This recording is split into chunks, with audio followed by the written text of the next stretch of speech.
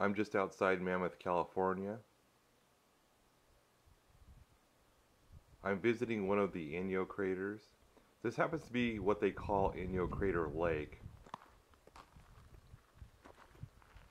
Unfortunately, I'm here a little too early in the morning, so lighting conditions are not the best, and there's still a shadow covering the lake. We're visiting a lot of stuff today, so this is the only time I can squeeze this in. So this video will have to do until I can come back. Let me try to give a quick explanation of what happened here. This crater is one of the three that are close by. According to what I have read, this is not a volcanic erupted crater. It is one where the magma below heated up the water, creating steam which blew open the hole you see. The diameter of the crater is about 600 feet, while the water below goes down 200 feet.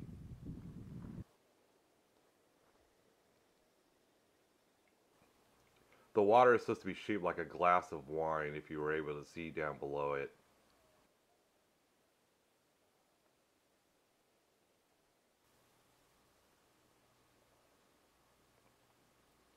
There is a high school track meet in Mammoth, so a lot of students have been training around here.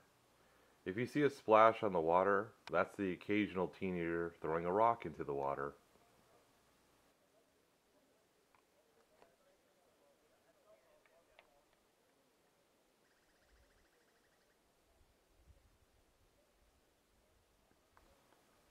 I'm just going to keep walking around and giving you different angles of the crater and the lake.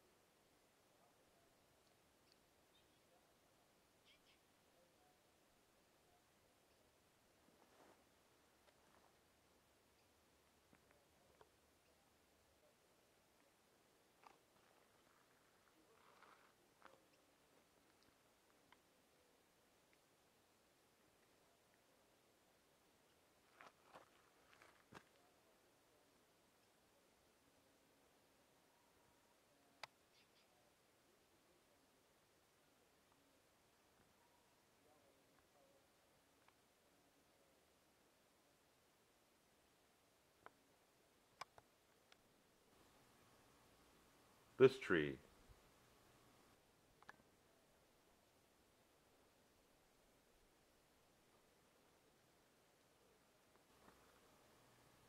And that one. They appear to be some of the trees causing their shadows in the water.